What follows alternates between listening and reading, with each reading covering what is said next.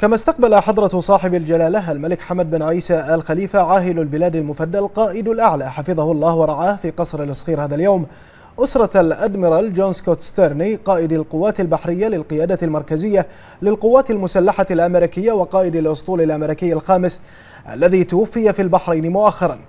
حيث قدم جلالته التعازي إلى والدتي وزوجتي وشقيقي وولدي وابنة الأدميرال جون سكوت ستيرني.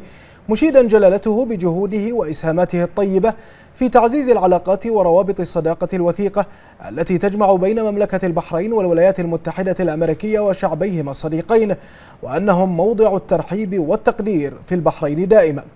كما أبلغ جلالته أسرة الأدميرال بنقل تحياته وتعازيه إلى جميع عائلة وأصدقاء الأدميرال جون ستيرني. من جانبهم أعربت أسرة الأدميرال جون ستيرني عن بالغ شكرهم وعظيم امتنانهم لصاحب الجلالة. الملك المفدى أيده الله على تعازي ومواساة جلالته لهم متمنين لمملكة البحرين وشعبها العزيز دوام التقدم والازدهار والرخاء.